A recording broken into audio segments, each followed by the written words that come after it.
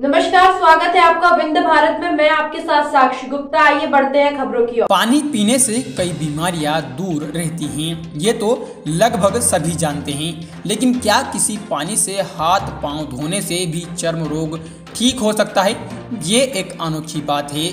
ऐसा ही एक कुंड ग्वालियर में है। जिसके पानी को पीने और इसमें हाथ पैर धोने से रोगी का चर्म रोग समाप्त हो जाता है।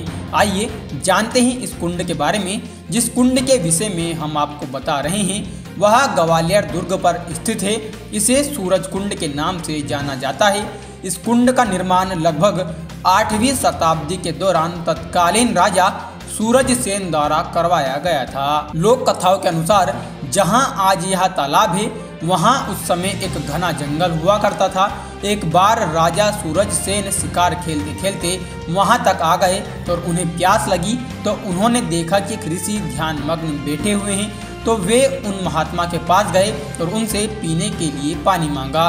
तो महात्मा ने पानी दिया और राजा वहीं कुछ देर आराम करने लगे। इस दौरान महात्मा ने देखा कि राजा किसी प्रकार के चर्म रोग से पीड़ित हैं।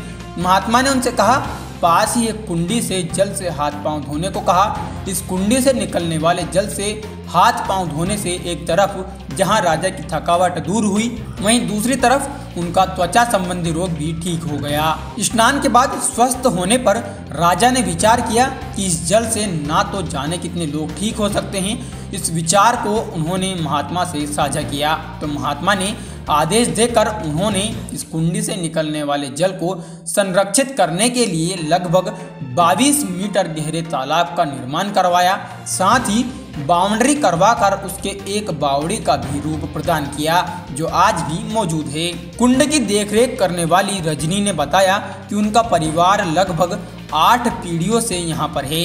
तालाब में जाने के दो मुख्य मार्ग हैं। उन्होंने बताया कि आज भी लोग हर रविवार को यहाँ आते हैं। इसी आस में इस कुंड में नहाकर या पानी में हाथ पाँव धोने से उनका भी रोग ठीक हो जाए और कई लोग ठीक भी हुए, लेकिन वर्तमान में इस कुंड में हर तरफ़ काई जमी हुई है। वहीं साफ़ सफ़ाई के अभाव में इस कुंड का पानी बेहद गंदा हो चुका है, जिसका प्रयोग करने से लोग अक्सर कतराने लगे हैं। फ़िलहाल के लिए इतना ही। खबरों का सिलसिला लगातार जारी है। बने रहिए हमारे साथ। नमस्कार।